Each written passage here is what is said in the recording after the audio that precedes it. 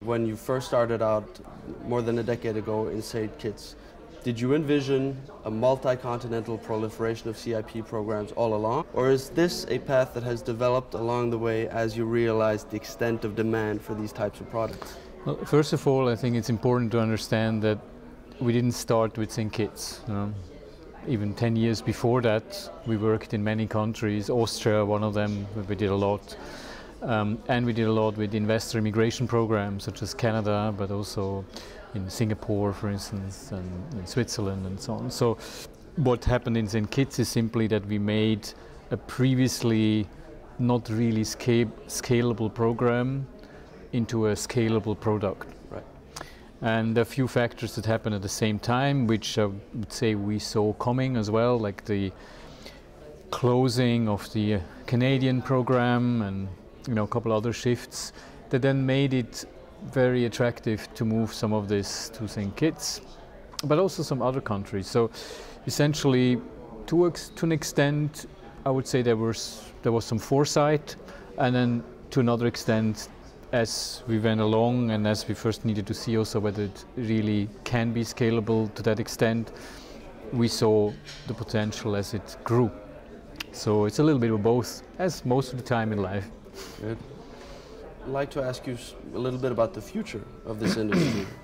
10 years from now, what do you think the CIP market is going to look like? Do you think we'll see more Caribbean or EU state CIPs? Uh, or perhaps in the Pacific Islands, where they have a lot of the same preconditions in place, such as Schengen access and common law jurisdictions and English as an official language. Absolutely. What's, what's your prediction? Well, I think on one hand, what is very clear is that the global demand continues to expand. So there's a lot more people that are looking for that. Um, and I think there are two important factors here on the demand side. And that's one, there is an incredible increase in wealth around the world, so there's more and more people that can actually afford such things. And secondly, it has become, um, I would say, mainstream. You know, where maybe 10 years ago, even you know, to acquire a second passport was maybe considered a little bit hmm, adventurous. Adventurous, yeah. let's say. Whereas now in the wealth management industry, wealthy people around the world, it's completely normal to talk about it. And I think in the future it will be a, a standard thing to do. So the demand side is expanding, but also what we see is that the supply side is expanding, and I think there certainly our firm has pioneered with countries around the world um, to really use such programs, both investment uh, residence and investment synergy programs, um, as legitimate tools for boosting foreign direct investment. And that is something which I think is also going to further expand. So in 10 years, I think we will see a lot more countries, and not just in the Pacific or Caribbean, but all over the world, that will adopt this uh, interesting tool. Yeah. Do you anticipate that prices will continue to fall for CIPs? Uh, so I mean the, the cost of entry, will it, will it continue to fall as new entrants continue to enter the market? Or do you think that jurisdictions will mainly try to compete on quality rather than price? Yeah, I think it's always a question what product you have to offer. So the price is only one uh, determinant. It's like with any other market and any other products. And so I think there is a certain tendency, of course, particularly amongst very similar programs, let's say intra-Caribbean. Substitute goods. Unfortunately, to go a little bit, um, I wouldn't say, I wouldn't call it race to the bottom, but it's a, a little bit a tendency which I would very much like to see reversed. But as long as you have players that don't play along, I mean countries that just keep it low, others have no other choice than also keep it low, you know, so or go lower. Well, and you would need a cartel, I suppose. Almost, yeah, it. at least a certain understanding yeah, that yeah. there's a certain minimum threshold because it's fairly artificial pricing, I would mm. say. Yeah. On the other hand, it's not just the cost or the price. It's also how efficient it is, the reputation of the country. Um, the, I would say the quality of the application process. Yeah. What kind of questions are asked? What kind of due diligence is required? And what kind of people are admitted? You know, wealthy people that are looking for this product, they want to be sure that others that are in the same club, let's say, mm. are not you know, shady people. Sure. And so if a country starts to let in too many unsavory characters, then by, na by nature that cheapens the thing. And then these are also factors that are important. And that's why we see, for example, the Malta program is so successful. It is by far the most difficult and by far the most expensive. Yeah.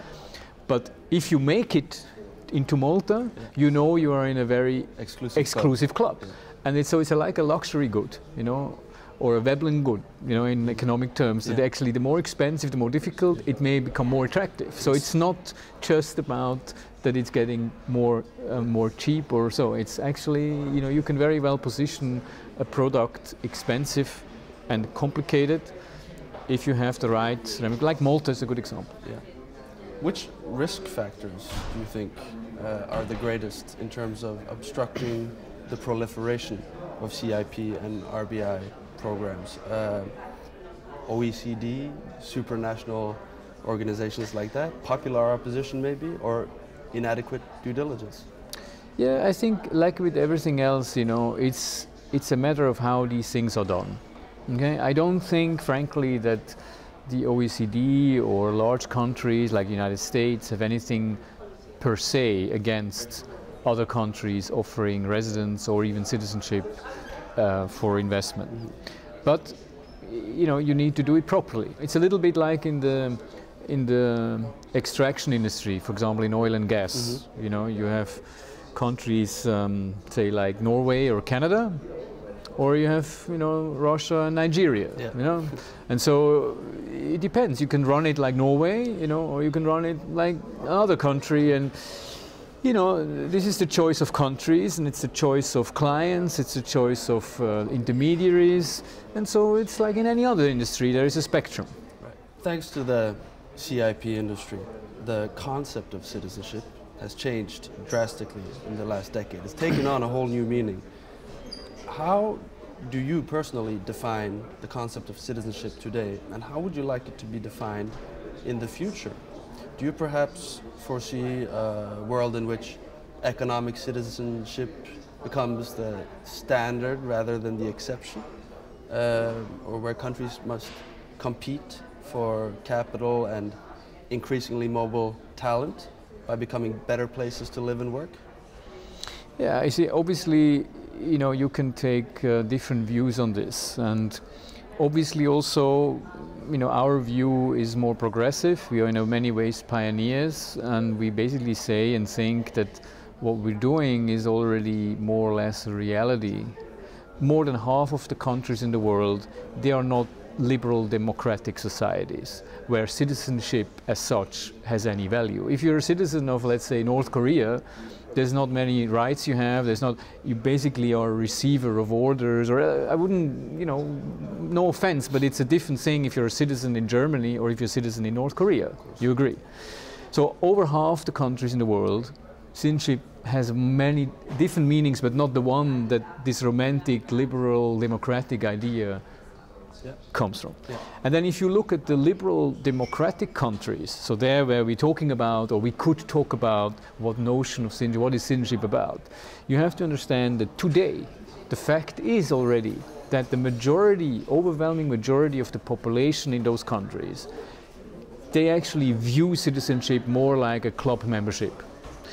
Because if you look at who goes to vote, who, who actually participates, very few people actually go and vote. Okay? And then if there is very good studies and political scientists, uh, you know, analyze this very carefully, very good studies that show that those even who go and vote, if you interview them and look at what exactly their understanding is of the political process, is very, very bad. So if you look at the United States yeah. or Germany, even it's unbelievable how people don't actually understand what they're doing. So their political rights and their citizenship rights it's really reduced to what do they pay and what do they get. That's what people are interested in. This romantic idea of citizen comes from a previous time. It comes from when we've had, you know, citizen armies, you know, in the French Revolution, where everyone took up arms, you know, and then it's logical you can't be a citizen of Germany and the United States if they are at war. Right.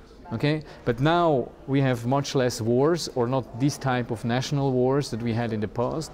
We have largely professional armies, so military service is no longer an issue, and citizenship was very much tied to military service. So now all these things they're gone.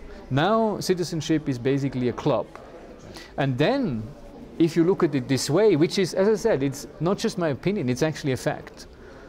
The fact is that people look at it like this, and if you look at it like this you know, what prevents you from offering this club membership to suitable, talented, and wealthy people to enter the club for the benefit of everyone that is there? Why not? Right. And then this club membership has a price. Like, like if you join a golf club. Yeah. Okay? And this is how I see the future of, of citizenship very much so. Of course, not, not without bias here, of course, but there are some very strong facts that that support that actually. Yeah. I want to speak to you very briefly about your recent appearance on CBS's 60 Minutes, uh, because to many of those, uh, uh, like myself, who work in this industry and who know what the due diligence requirements are and the, the work that goes into it, it seemed like a very unfair characterization uh, of the industry as a whole. Um, so it, it's sensationalized and it hinted vaguely at foul play without providing any actual evidence for that. So I'd like to ask you, why do you think that this once venerable institution of reporting chose to portray the industry in such a negative light? Do you think it's simply that the press considers it its mandate to focus on the dark side of everything, or do you think there were other factors that motivated this hatchet job, I would say?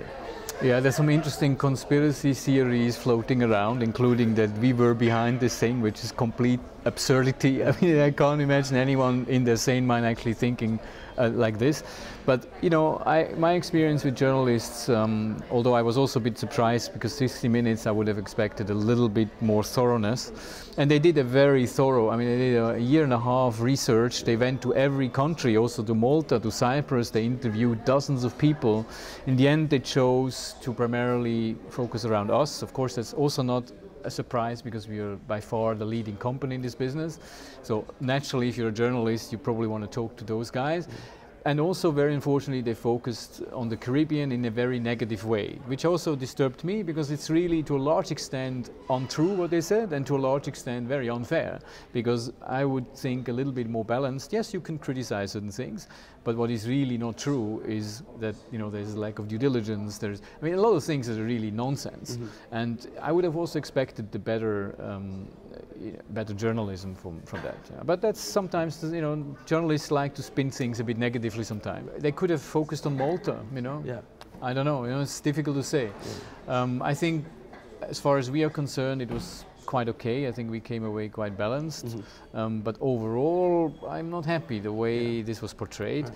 But you know, we will have more to expect like this. You know, when when you pioneer things, you know, you get criticized. You know, of course, it's normal, but everything is like this. No you know? good deed goes unpunished. Yeah, and then in the end, you know, people will be with you, but it takes a while. Yeah. You know.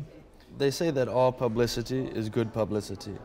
Now, do you think the 60 Minutes segment was, on the whole, beneficial to the industry despite the unflattering portrayal, in as much as it exposed the industry to a wider audience. Yeah, of course, it increased business. So from that point of view, yeah. and even you know, I talked to my Caribbean friends, and they all said, you know, after 60 minutes, of course, because it's a lot of connection between Caribbean and North America, mm-hmm. you know, there's a lot of phone calls from the U.S. Yeah. People wanted to, well, interesting, right. you know, wanted to proceed with it. So from that point of view, it actually was was good. But you know, I think we cannot prevent also in the future we cannot prevent mainstream media to report sometimes negatively at best quite balanced mm. but you will probably for some time not find terribly many that will portray it positively yeah. because there's always this connotation and it's nice to spin a little bit you know selling of passports yeah. over time people will realize what positive effects these things have and if properly managed and here I totally agree with policymakers and journalists it's a question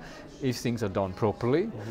then it's very good. And if, of course, things are not done properly, yeah, the, you have good grounds to criticize. So I do hope that more and more people realize this, and you know, I'm pretty sure over time, you know, this will take care of itself. Dr. Kalin, thank you so much thank for taking the time. Yeah, likewise. Thank you.